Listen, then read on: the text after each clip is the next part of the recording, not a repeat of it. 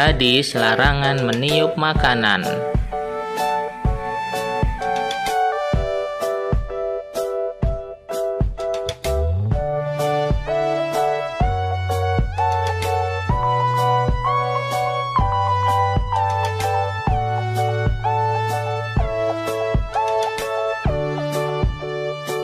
annan nabiyya sallallahu alaihi wasallam naha ayyutanaffasa fil ina'i au yunfakha fihi.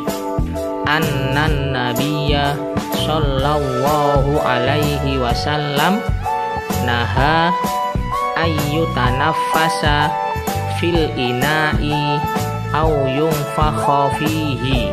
Annan nabiyya sallallahu alaihi wasallam naha ayyutanaffasa fil ina'i au yunfakha fihi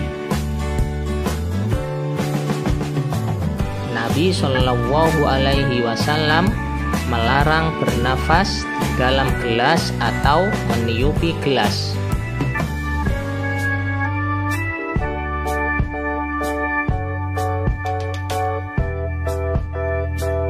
doa keluar kamar mandi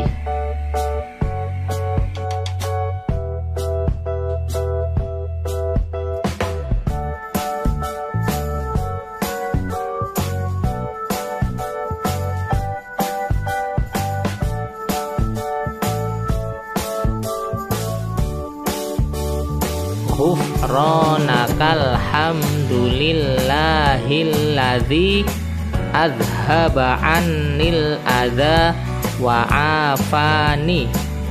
Ghufranakal hamdulillahilladzi adhaba anil adha wa afani. Aku memohon ampunanmu Wahai Tuhanku Segala puji bagi Allah zat yang menghilangkan penyakit daripadaku dan telah mengafiatkan aku.